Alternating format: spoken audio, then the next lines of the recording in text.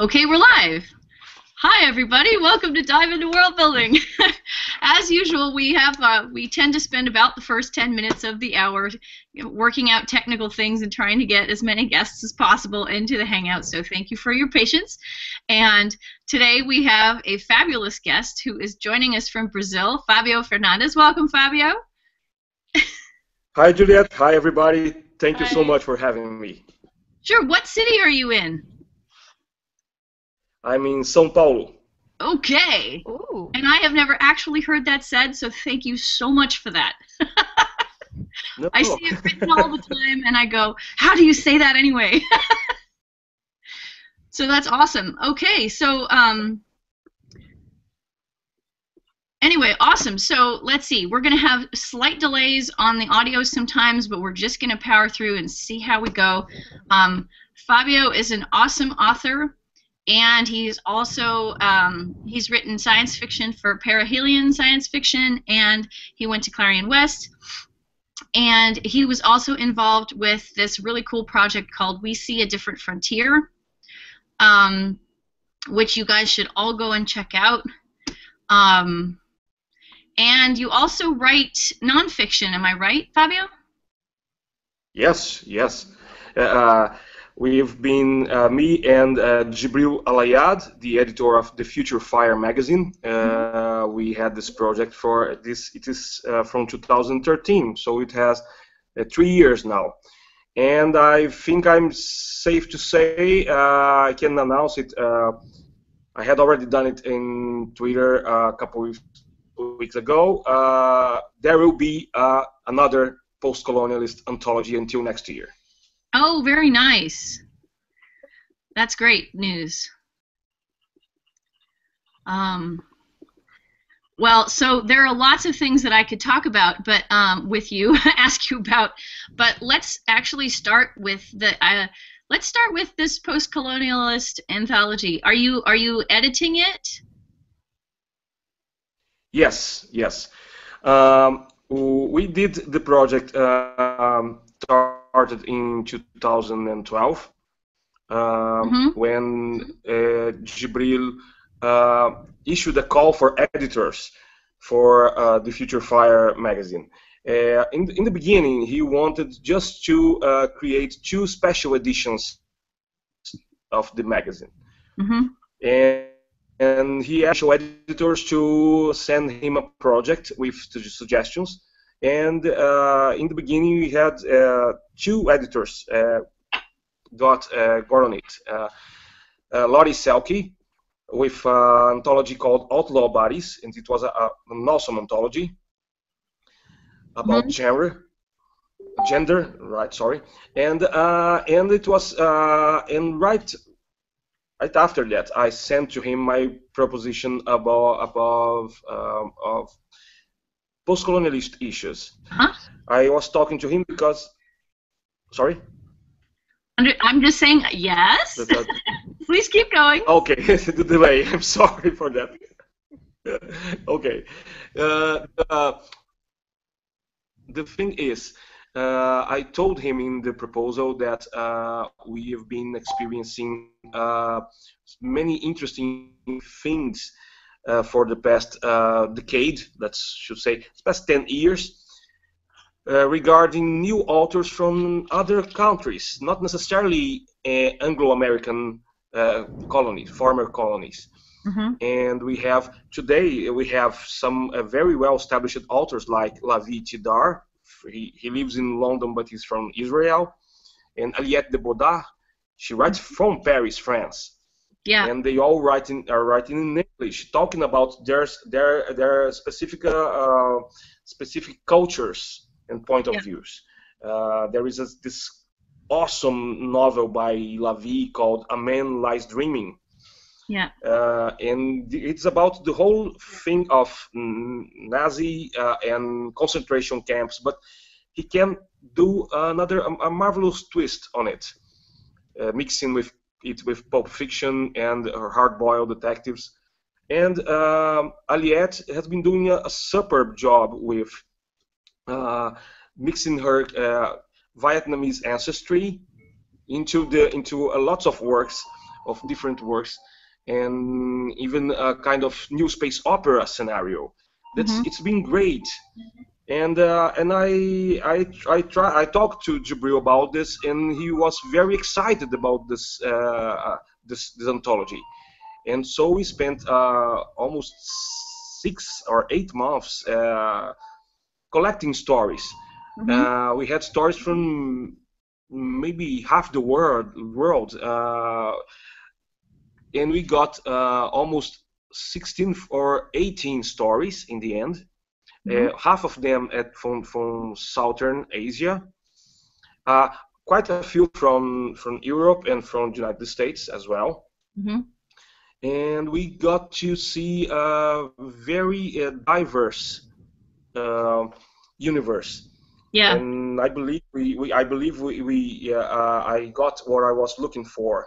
That is to show um, the English audiences, the Anglo-American audiences. There is there is much more to it than um, golden age or space opera, traditional yeah. space opera scenarios. You can you can write even using the same tropes as uh, uh, yeah. cybernetics, uh, time travel space exploration and using uh, uh, other players in the scenario, so to speak. Yeah. So uh, we it was it was very uh, uh, the anthology was successful in my opinion. Uh, we have some stories in scattered about in several years past anthologies, and we I, I I I was very very happy. And since since the, the, the 2014, I was I already wanted to do another um, another anthology, but uh, in 14, uh, Djibril had uh, personal issues, and uh, last year I had some uh, personal and health issues, so we couldn't we couldn't talk about it. But, but you're back on the uh, We talked now. about it uh, 3 weeks ago, and we will we'll start the new the new anthology in the next couple of months, I believe. That's good news. So, so you know, one of the things I, I was glad that you mentioned Aliette de Bodard because she has written very compellingly, uh, not only in her fiction, but she's also written uh, personally about her experience of writing science fiction in English. Uh, because you know she doesn't write science fiction in French; she writes all her science fiction in English, and it's a you know i'm not going to try to tell audiences of this video what she said about it they should go and look it up because it's really worth reading and kind of complex. But part of that is that she's done all of her reading of science fiction in english so she finds that the language of science fiction in her mind is is english for the most part. Now you're also an author who writes science fiction in english. Do you also write it in portuguese? Yes, yes. Mm-hmm. I, I, started to write uh, in English uh, less than ten years ago, but okay. I started uh, I started to, to write in to write and publish in Portuguese at uh, almost uh, thirty years. Wow. Uh, that's okay, cool. Three decades. I started publishing in fanzines. I think this happens all over the world, and in uh, since 1996, I've been publishing in anthologies. And in 2000, I published my first uh, my first uh, short story collection in oh, Portuguese. Cool. In 2009, I published my first novel. I, I was just talking about this in, on Facebook yesterday because uh, I pretty much stopped writing in Portuguese um, four years ago, right before going to, to Clarion West. But uh, every now and then I'm still uh, invited to anthologies, and I'm finding myself having to translate my own stories from English to Portuguese. Oh, interesting. Wow. It's it's so very hard I, to tell you. yes. We are all uh, terribly this, uh, uh, it's a it's a it's an interesting thing because uh, a few years ago Jeff VanderMeer asked me to do uh, to write a guest post for him, and I wrote uh, exactly about this, about this particular feeling, uh, because writing in two or more languages um, it calls you to do uh, a quite a rewiring in your mind. Yeah. Uh, when I write in English, I have really have to think in English. I have to think uh, uh, in a totally different track, and and, even the tropes get uh, get very different, uh, uh, because apparently it's like we maybe it's a cultural thing. I cannot really tell this for for sure, but we have um, in Portuguese we treat certain subjects um, in a way and in English another. Let, let me try to be more clear. Uh, sometimes uh, you have uh, to write about um, space exploration, for mm-hmm. instance, and we we we don't have many uh, hard SF writers in Brazil. Okay. Uh, so uh, when I try when I'm trying to write this hard science fiction story set in space, for instance, I really have to to to consult every uh, other other shorts or other other American or English writers like Alastair Reynolds, uh, Kim Stanley Robinson, and we had a, a, very good writer in Portuguese called uh, Jorge Calife. Uh, Calife was a close friend of Arthur C. Clarke, and he uh, in, in, in the acknowledgments of 2010, Odyssey 2, uh, Clarke uh, acknowledges uh, Calife's work in, in science fiction, in Brazilian science fiction, and also because Calife helped uh, Clarke with the outline for 2010. And uh, he's, but but he's a really he's a is a, uh, uh, uh, kind of he's a classic writer today in Brazil, -huh. but he's not writing anymore.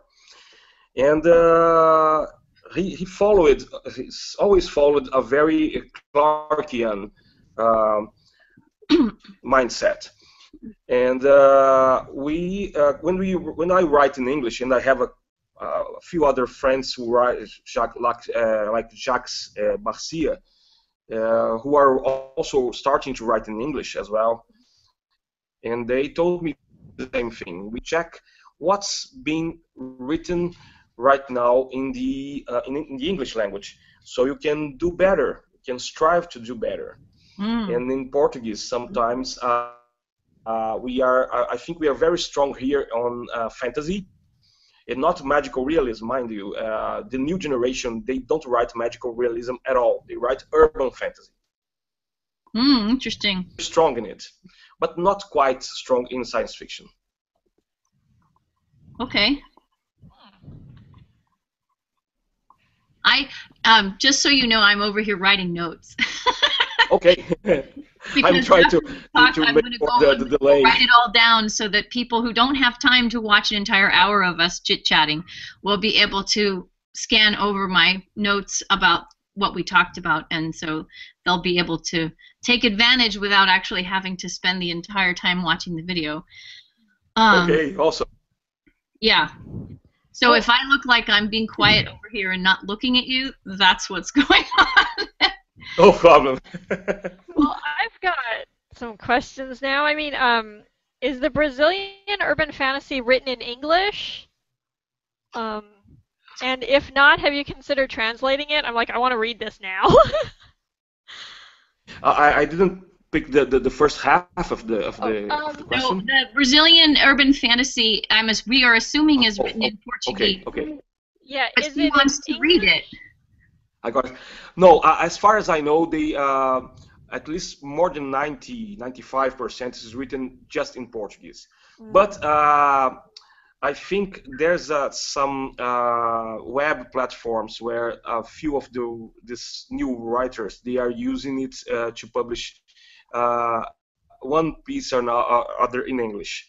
I okay. can't remember who. Uh, I don't remember where they are doing it. I, will try to I'll try to check it and then send it to Juliette maybe. So sure, you know, one notes. thing that you can do is but, if you have particular links or references that you want to okay. send, since we don't have an active chat bar um, here, what you can do is All send right. them afterwards, and I'll incorporate them into the mm. So that people can see them even if they are not, you know. Okay. I'll do that. That'll that that will work out. Um, yeah. Okay, so this is very very cool. um, very, I you know I'm I'm kind of I'm kind of thinking, you know, one of the reasons why I like to do this show is I like to discover authors who have done things that I haven't known about, right? so it seems like in a way the the work that we've seen from you in English is sort of just like a tiny little a tiny little tip of the iceberg here, and that maybe we'll be able to see more uh, of your work get translated or um, get read by English language audiences in the future, which is really exciting. Um, so let's see. Let's talk a little bit about what you write in terms of the world building. So it sounds like from what you were saying that you do quite a bit of hard science fiction in English and you like to work with space. Am I right? Yes, yes. That's what I'm doing. I'm, I'm, doing mostly uh, with my time writing in English right now. Do you have a, a particular? Uh, do you work in a unified universe, or is it story by story? Yes. No, uh, I'm. I began writing uh, a particular story set in this uh, far future universe called the Obliterati uh, mm-hmm. four or five years ago. But this particular story, which is becoming a novel right now, yeah, yeah. I, I, I didn't. Uh, I hadn't the opportunity to finish it. I'm writing very slowly uh, because of world building. We'll get that to that in a minute. Mm-hmm. But uh, while I was writing this first story, uh, I started to write uh, several parallel stories in the same universe. Okay. Just because uh, every time I got into a, a, hurdle, I had several questions which I wanted to ask myself. How do I solve this particular problem? It's uh, usually, I don't know, maybe uh, I think that hard science fiction I don't know if only hard science fiction uh, asks for this, but uh, it's like a, a problem-solving thing. Yeah. You're writing, then some somehow you get yourself in a you have an, an obstacle, and then you have to ask the, your uh, yourself the right questions. So sometimes you don't even know what the questions are. and I was I was that's that's the, the thing, right? Um, uh, to uh, I mean, let's start to um, make a long story short. This story, this Obliterati stories, was originally set in a future uh, at least uh, 2,000 years in the future, where uh, humankind had already colonized uh, several stars, um, star systems in the galaxy. Mm-hmm. And uh, suddenly there uh, an invisible enemy appears and destroys uh, most of the of the planets. Uh, and unprovoked and nobody knows why this enemy is doing it. Mm-hmm. and the story is already set uh, uh, 20 or 20 odd years after this destruction this obliteration happened mm-hmm. and most of the few humans uh, surviving. They are living, they are dwelling inside asteroids. Oh wow! And so my whole question in the beginning was, okay, how they, how are they going to survive there? Uh, were these asteroids already inhabited? And I had to answer to ask myself these questions, and uh, I had to to to create uh, miners communities in these asteroids. Mm-hmm. Uh, some some uh, outposts I, I tried to steer clear of a few tropes. For instance, I don't have any military forces, organized military forces in this universe. I'm, I, I tried to create a, a universe, not a peaceful universe, mind you, but a universe where you don't have these things, you don't take these things for granted. Yeah. So this is, uh, is mostly a, uh, they are mostly communities of researchers, scientists, of people trying to make a living, and they're, they, they are not expecting uh, aliens, uh, hostile aliens. Mm-hmm. Uh, they already had read too much science fiction to believe this could be true, and okay. they are just uh, trying to explore, really explore new new new new worlds.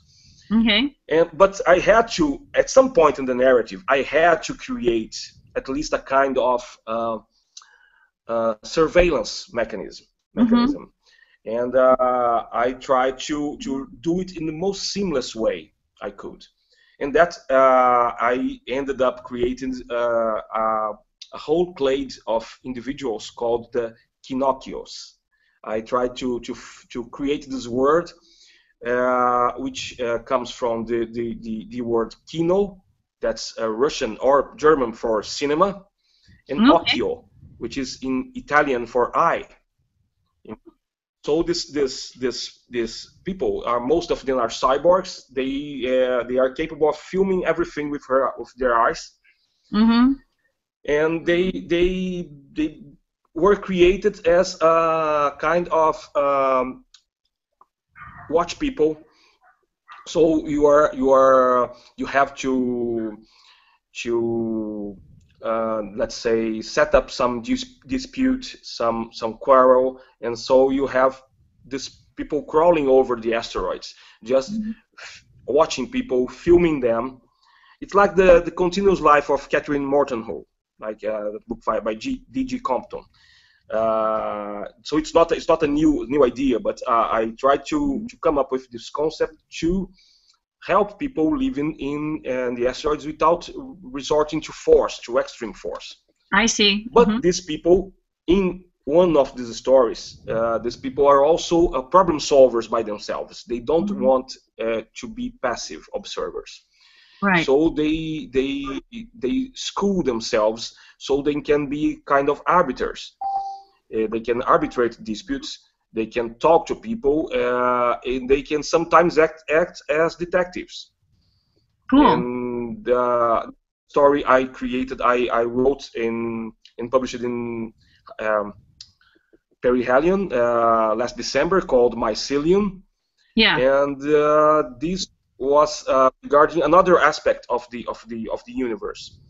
Uh, uh, this universe uh, there, there's a, there's a, a, very interesting principle I, I try to to to build around the story, uh, which is okay. Uh, so we have a high tech, very high tech uh, community uh, in this universe, but when this secret uh, enemy, this hidden enemy, starts to destroying everything, somehow they are going to find that they they can't have too much electronics because that's mm-hmm. one of the ways that uh, the enemy traces them. So they have to resort to biotech, and they are trying to uh, build another communication systems. And uh, mycelium is the story of how they started to develop using the fungal myceliums uh, to build a network of communications between human beings. Mm-hmm. So they will be able to have uh, have a kind of, as I as I wrote in the story, chemotelepathy. They will be able to communicate uh, with each other, not on a constant basis, only when they ingest certain kinds of fungus, and they are able to communicate with each other. Oh, that's interesting. so the, the, the, the story of the origin of this technology is portrayed in Mycelium and uh, no, I just uh, the, um, I'm assuming then that the that you have other stories in which this technology is more uh, highly developed. I guess you'd say more mature as a technology. Yes.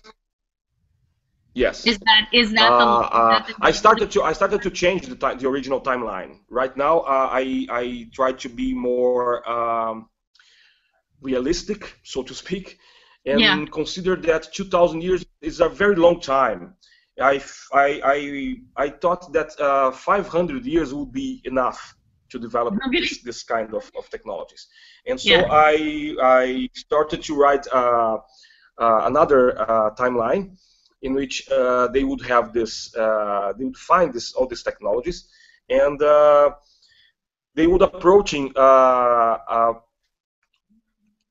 a very, a very um, how can I say? Um, there will be an end point uh, in this story. I don't want to give spoilers, I, I, but I, I, just wrote a story which can be the final story of this universe. Oh, that's interesting. And okay. It's, it's called, and it is called uh, Nine Paths to, Nine Paths to Destruction. Hmm. Uh, this story is currently with a magazine. Uh, I, have already talked with one of the editors. There's a, a, good chance the story will be accepted, but I didn't have the green light to talk about it yet. We will let you keep uh, your so, okay, but the story, uh, it's it's uh, from the it's a first-person story uh, and first uh, told from the POV as at, uh, of the the protagonist of the first story, the original story, Obliterati. Okay. he was a, he was a pilot the first story, and this in his future, this in this in Nine Paths, He's a Buddhist monk. Uh, he was already a Buddhist. Uh, uh a, a, few of the so uh, most of the population of the asteroids is from um, Southern Asia, mm-hmm. India, Brazil, and a few countries of Africa. So okay. you don't have many uh, Anglo-American characters in this story, at least in the beginning. Yeah. I, am I'm, I'm, I'm coming up with an explanation for this. I'm writing uh, another story where they will figure more. There will be more American uh, uh, people of American and European extraction in the, right. the next stories. But uh, I wanted, I also wanted to show this. How how can uh, people from the third from third world or for former third world, how can they thrive in space? Because mm-hmm. usually people uh, people see see see Indians or uh, Kenyans uh, or Brazilians as people with no particular uh, particularly good scientific skills. Yeah, well, that's and, not true. Uh, yes. That's simply not true. but uh, I, I'm trying to, to to show people that we can also be there. We can also be in space. Uh, and so uh, I'm trying to, to put up uh, several things in this in this world building uh, without trying to be um, without to try to be much uh, of a fanatic about them. Mm-hmm. Because I, I, I, think about the I think about Buddhism. I'm I'm I'm trying to, to put religion in this universe without sounding uh, um, without doing proselytism. I, I, I don't want to do this. Right. But I, I have in the story, I have already in the story uh, uh, not only this uh, small uh, Buddhist refugees, but I'm also have uh, one, uh, one of the characters of the original story is Jorgensen the First. She's the first trans woman to be pope. To what? And they to be the pope. Oh, to be the pope. Okay. Uh, uh, I'm, I'm, I'm writing this story uh, as if the Catholic Church had pretty much gone the way of the of the dodo, and the in, in among the this chaos chaos in the asteroids, this this woman tries to to rekindle the flame of the of this ah. of this particular church but uh, with a, with, a, with a, another as a, a, very different set of, of of instructions of commandments and trying to discuss this without being uh, without doing proselytism without being a sort of zealot. Uh-huh. Okay. Wow. So so yeah because i mean you've already got this scenario where most of the humanity has been wiped out and the planets have been destroyed right? So that people are living in these little pockets in these asteroids all over the place. And so what I'm understanding is that you have a person who you know is intrigued by Catholicism and the idea of the whole thing and is trying to kind of revive it, but the terms of that revival are very different. Am I mm-hmm. understanding mm-hmm. correctly? Mm-hmm. Yes, exactly. And this person will be instrumental uh, in uh, helping helping people in the asteroids, not only to survive uh, spiritually or, or, of, of mentally, but also physically. Uh, she is uh, going to be uh, a person who tried to come up with a way out of this of this chaos. Oh, and uh, I, I don't want to create. I, yes, I'm, I'm not creating, trying to create any uh, religious figure, uh, so to speak. But uh, I, I'm trying to, to, to I'm trying to create a universe where people can be the most human they can be, without resorting to myth. Mm-hmm. Uh, right? Uh, sometimes you read stories about this. Uh, you still, uh, these days, you still read stories about that um, awesome uh, space captain, which is also a Kirk, a Star Trek Kirk-like figure who uh, and, and he's is always a white male of Anglo-American extraction. Yeah. And uh, and always knows exactly. You don't see you don't see many many new things. Yes, uh, one of the one uh, to be honest, one of the very few good things I have read lately is uh, The Expanse, both both the book series by James Corey uh, and and the, the sci-fi series, which I really liked and uh, I had to say that I, I, I can't I, I, can't thank them enough because I had to change several things because one or two things that they are doing in the Expanse. I was doing as well in my story, so I had to change them.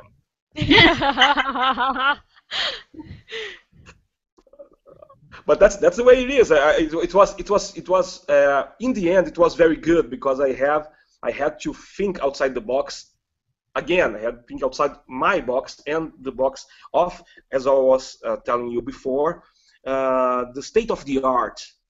Let's put it this way. Yeah, How's yeah. the state of the art of science fiction right now? And the Expanse just set a, a, a higher bar right now because Yeah. we really have people from several world countries and the, the language of people in the in there in the asteroid belt in the expanse. It's awesome. With each a, a mixture of, of several words uh, and they they all these gestures they do because in the beginning they were all uh, wearing spacesuits and they couldn't uh, they had to to be readable at a distance to Yeah. their fellows. And this this is a this is a, a marvelous thing. I hadn't come up with this, this solution but I, I'm trying to to do a, a bit of a different thing regarding the language they use in the Yeah. asteroids. So so I'm gonna I'm gonna make you keep going because because you know I'm a language geek, right? So I want to hear what I want to hear what you have to say about language in this universe because it seems like the kind of environment where language would um, split and diversify very quickly because of the isolation of these various populations. Is, is that something that you're exploring? And, and can you tell me a little bit about what you're imagining in that environment? Yes, sure.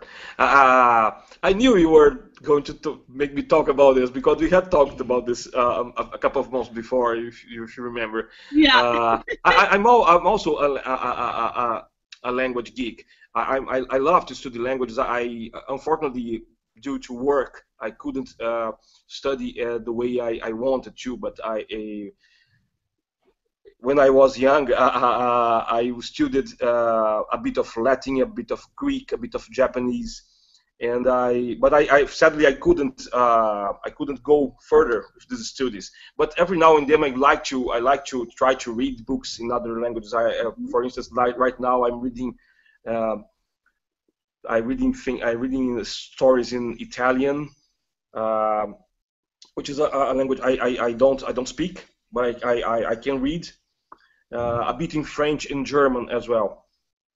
But uh, for for the benefit of this story, I pretty much uh, put most of these languages aside, and Mhm. I, I'm trying to come up with. Uh, uh, not a conlang, not a constructed language, but a, a, a organic uh, evolution from what we have now. I, I, I was thinking particularly in two examples: uh, the Catalan language and the Papiamento, which are which is a language talked in, in the Caribbean.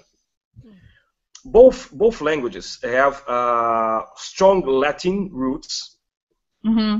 and uh, Catalan uh, the Catalans don't like to for us to say that, but but uh, they uh, but Catalan seems to me like a, a, really really strong and very good mix of uh, new Roman languages like uh, Spanish, Portuguese, French, a sprinkle of Italian, mm-hmm. and uh, uh, and in in in the, in the more than the, than the, the spade of Latin of old Latin and yeah. are, it's it's a, it's a marvelous language. I, I. I, I also I can't I, I can't read most uh, texts in Catalan, but I can't I can't speak the language for my life. I, I am very sorry about that. Uh, I'm trying to go. Uh, I really will try to go to Barcelona uh, next November because of the uh, Eurocon. But I, am not sure if I will be able to go. I can only hope I can go and try to learn a bit more until then. Uh-huh. But uh, Catalan is a, it's a, I, I'm fascinated by Catalan since my teens. Mm-hmm. And uh, approximately 10 or 15 years ago, I also heard of papiamento. Papiamento is a, is a, is a, it's more interesting and more easy for us, uh, for Portuguese and Spanish speakers to understand, okay. because it's a, it's a, it's a language that grew mostly on um, Curacao and Suriname, uh, I think, uh, that uh, former Dutch colonies in in yeah. in, uh, in, the Caribbean. I don't, I really can't tell you right now uh, the about the origin of this of this language, but uh, what I can say is that people in these countries use it a, this mix of Portuguese and Spanish to talk among themselves as a a way of uh, getting themselves closer to Spanish uh, speaking um, uh, Latin America. Yeah. And so they started to to to create this, this this language, which is very interesting because when we say this word, the very word of the language in Portuguese, papiamento, it doesn't have any particular meaning in Portuguese, but mm-hmm. it seems very close to papo. Papo is just chat, just talk and uh, the, the suffix mento it also uh, usually is just a, formal way to use something and so uh, it's a kind of a, formal talk a formal yeah. chat it's it, it's translated literally uh, yeah uh, and it's very it's a very very easy uh, again it's the kind of thing that's so close to to my language uh, to my native language that I can't speak it because I will certainly make several mistakes. Sometimes it's, it's easier to speak in a very different language. It's, yes. Uh, even if all my mistakes, it's, it's easier to talk in English than to talk in uh, Catalan or Papiamento. Yeah, I hear you. But it's it's very it's very interesting to so to, to study because I'm trying to understand a bit of this of the, the mechanism of the grammar because uh, I what I'm trying to do in my stories is to create exactly this. Okay, so you don't have uh, you have Brazilians, you have uh, several people from across Latin America, and mm-hmm. but you have all, you also have uh, people from from Kenya, for instance, from Ghana, mm-hmm. and uh, a, a, few uh, in several of these places, in these African countries, for instance, you have former English countries, former French, uh, former mm-hmm. Dutch or, or, or, German, and uh, and you also have some some uh, tribal languages. So, uh, yeah, I'm sorry if I'm uh, using the term. It's not always correct, but uh, Swahili, for for instance, and um, I'm, try- I'm, I'm forgetting right now. You have several very interesting from the uh, from the, the, the, center to south uh, of Africa, of the African mm-hmm. continent and uh, Yoruba, for instance. Mm-hmm. And Yoruba is a language that most of the, the African slaves which came to Brazil, they they spoke Yoruba. Okay. So uh, in our tradition, our culture in Brazil, we really use lots of words in Yoruba. Mm-hmm. Uh, so it's it's it's it's. Uh, I think it will be rather easy to, to, for us to speak a few words in Yoruba, for instance, mm-hmm. and uh, mixing it with Spanish mm-hmm. and Portuguese. And so I, I gave this this this this language the tentative name of mistureba. Mistureba has an African, has an Yoruba sound to it, but mm-hmm. it's uh, uh, as far as I could as I could uh, research. I did not create this, this this word. This word exists in Brazil, and it's a very informal word to uh, mix a mix up of things. When you say, "Oh, this is all too mixed up," you say, mm-hmm. "Ah, isso é uma mistureba." This is a mistureba. This is a, a very mixed up thing. And yeah. usually, usually we we we uh, not talking about people, but about things, about a, a whole setup of things. Yeah. Uh, and uh, this very this is very this will be very funny for any Brazilian who is reading one of my stories because that will be the will, that will be the uh, the Portuguese speaker. It's not a simple story, egg, right? yes. Oh, it, it, but it's very interesting thing because you you you said just uh, uh, just the thing. A Portuguese speaker, uh, uh, uh, a person from Portugal, will, yeah, will right. not understand this word. Okay, great. This word so is usually uh, from, uh, in Brazil, but it's, it's, very interesting because uh, uh, yes, Brazilian Portuguese. That's another thing. Uh, since the 1980s, several linguists has been stating that uh, our language is now fundamentally different from the, the continental Portuguese. Is that how well, we, we, use? We speak the, the, the, Portuguese in Portugal.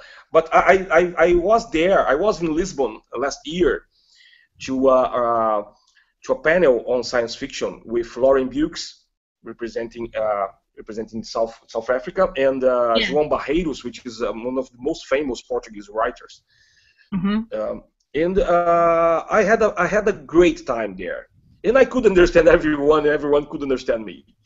Uh, so uh, sometimes we have this this this kind of anecdote in Brazil, whereas oh, if you want if you go to Portugal, you don't you won't understand anything they say, and vice versa. It's not true. but it's not to do a, a, very interesting cultural cultural thing. Uh, our soap operas, our telenovelas here are uh, very very popular in Portugal. So uh, many, many, Portuguese friends have told me that they are speaking. Uh, uh, uh, we are they, we are they are starting to to understand everything we say in Brazilian Portuguese because of these novelas. and no, so we, we have we, we hear can hear their accent, which is very different from ours. Yes.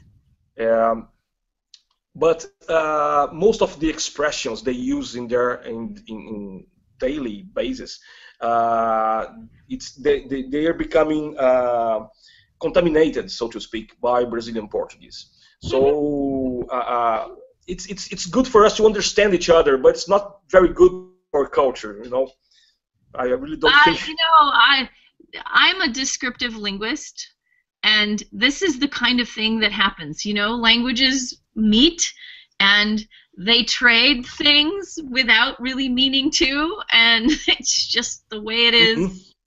Exactly, I, I exactly. tend to come down on the side of actual usage rather than on the side of we need a special academy to make sure that our language stays pure. you know, because um, that you know, you can only hold those things back for so long, right?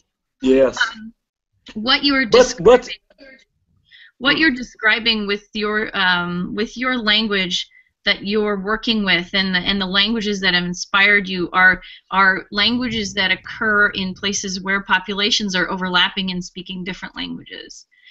So I wonder if you would characterize the language that you're working with as like a Creole language.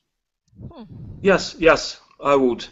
That okay. definitely it's not a constructed language. That's it's more it's more organic than that. So, right. So so really really it's a, it's a Creole language.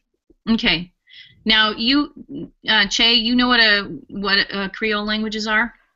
Um, mm-hmm. not specifically. Oh.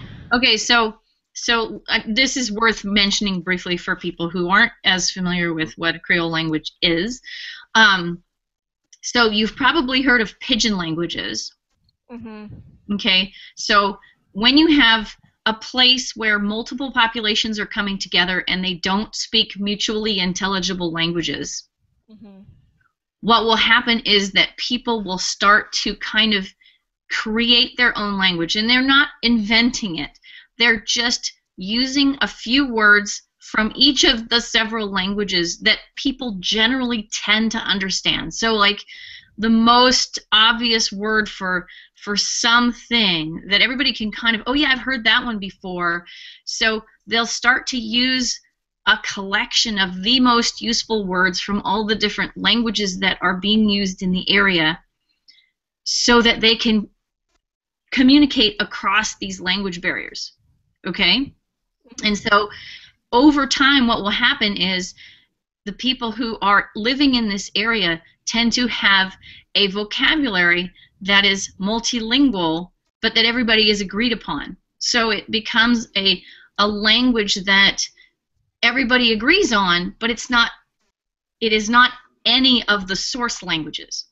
Does that make sense? Yeah. Okay. So you've got these people who have this language that they've sort of cobbled together in this area that's perfectly functional, but they kind of invented it out of all of the different mismatches of things, right? Mm-hmm. Then they have children. And the children learn the language as though it is a native language. And as they do that, they add things to it. So they add grammatical structures to it, and they add um, all kinds of different stuff to it. Okay? At that point, it becomes a Creole language. Okay? So a Creole language is a full fledged language with grammatical structure, with its own eh, life and, and linguistic being, right? Mm-hmm. That has grown out of a pidgin language, which was the language that didn't have the full structure, didn't have all these elaborate linguistic constructs that it gained when it was learned by the second generation. Okay. Okay? So, Creole languages are very cool. um, but but they have this and this is what this is I think what Fabio was talking about is that they have this background in places where people are coming together speaking languages that they can't understand each other with. And it's happened, I mean, it happens all over the world, mm-hmm. right? And there are people who specialize in studying Creole languages.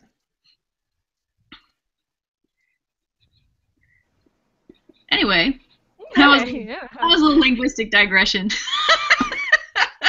yes because and a awesome digression it was. um, but I think it's really it's not something that I see a lot in in uh, well, you know, like it gets gestured at in science fiction and and also in fantasy. You you know you'll you'll hear um, you'll hear certain kinds of you know they'll say well this is the this is the common tongue right or or it's the local patois yeah. You know that you'll hear these these languages uh-huh. sort of referred to, right? Yeah. Well, you know, around here we just kind of all speak the same language, even though we have separate languages that we like to prefer to speak. But you know, we all kind of come together on this one thing, and I'm not sure people are really consciously aware that they're referring to Creole languages in that kind of context or to pidgin languages. But but this stuff actually does happen. You know, you do get a convergence of multiple populations and then they come up with a language that they kind of all can agree on.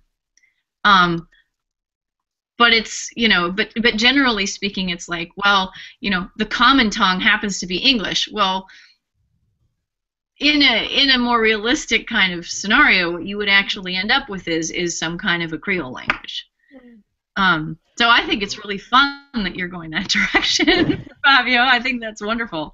I'm I'm I'm really trying to do a, a thing a, a thing a bit different. Yeah, yeah. Well, you know, honestly, well, because, uh, we're, we're towards the end of our time, so let's let's see if we have some some final thoughts. I want to hear what you were just saying, though. Okay. So, what so, were you just saying, Fabio? Well, I'm sorry, I didn't hear the, the, the last thing you say. No, no, you you cut yourself. I cut you off by accident, but you were in the middle of you were about to say something, and I wanted to hear what you had to say.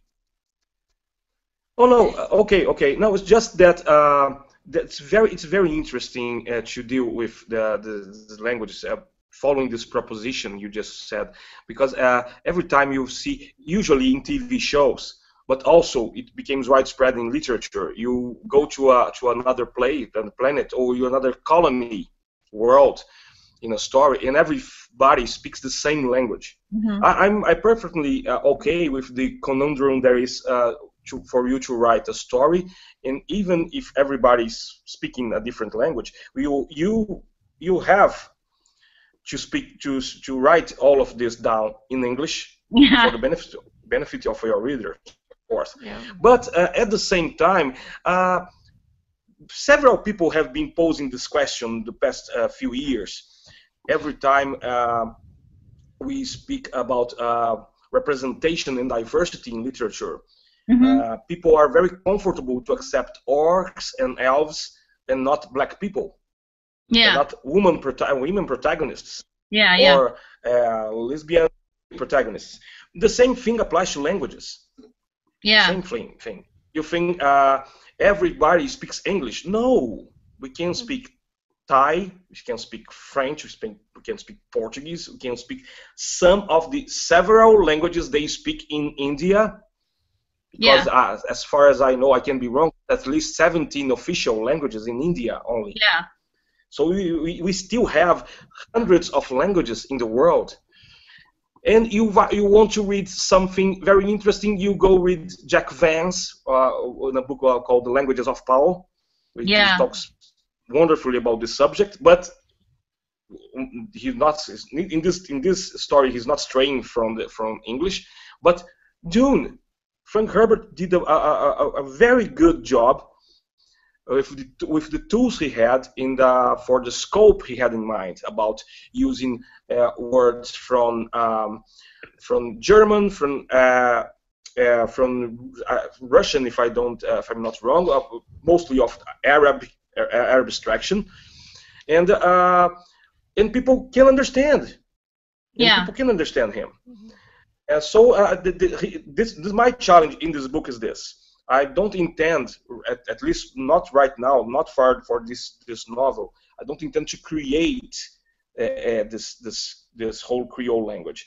I intend to to, but I intend really intend to furnish the reader with uh, these options, these keys to, to understand it.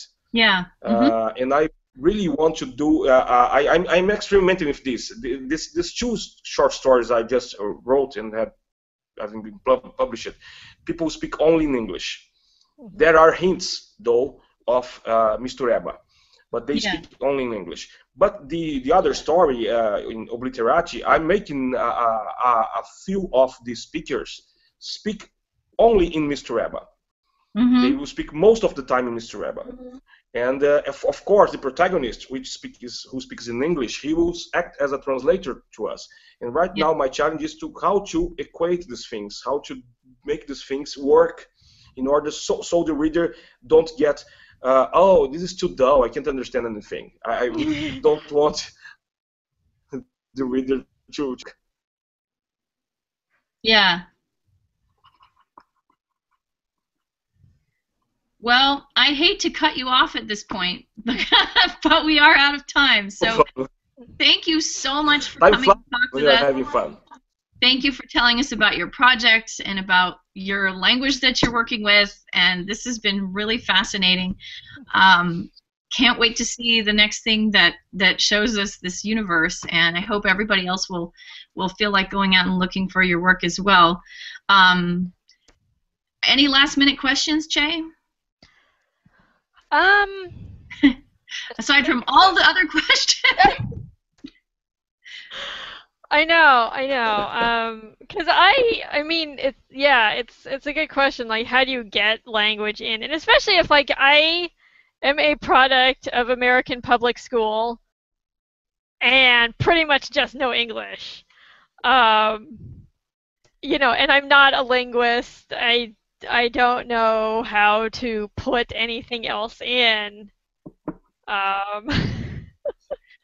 yeah, you know, it's uh, well, I mean, it's it, we're lucky actually. We're lucky to have, you know, I've obviously had a lot of experience with foreign languages, but I think in some ways these works of fiction that grapple with really interesting and complex linguistic situations are a great way for people who have grown up only speaking English to broaden their minds and actually get an experience that is multilingual in a very different, distinct way.